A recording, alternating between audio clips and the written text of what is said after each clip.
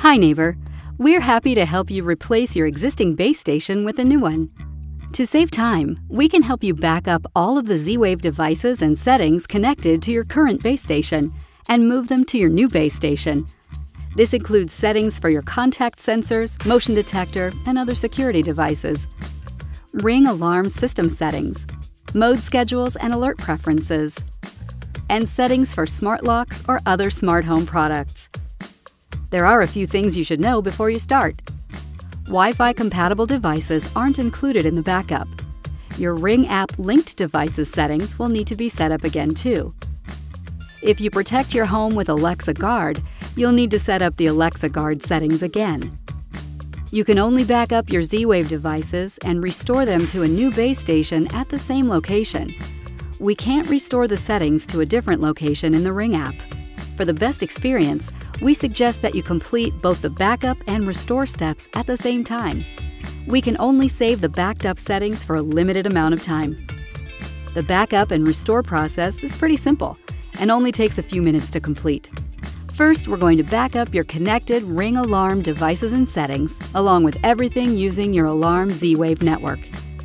We'll unregister your current base station from your Ring account. At this point, your Ring alarm system will be temporarily offline until you restore everything on your new base station. You won't be able to arm or disarm contact sensors, motion detectors, and access Z-Wave devices around your home or business until you set up your new base station and restore the devices. Next, the Ring app will guide you as you set up your new base station. As your base station installs software updates, it will automatically restore your saved security devices and settings. The Ring app will let you know when it has finished restoring your devices successfully. If you get any offline alerts on your phone for your Ring devices, don't worry about them for now. Finish setting up your new base station. When your new base station setup is complete, we suggest that you check each device's settings in the app to make sure everything was restored correctly. If any devices appear to be offline or not working, try opening and closing the device cover, or tap the button on the front to wake it up.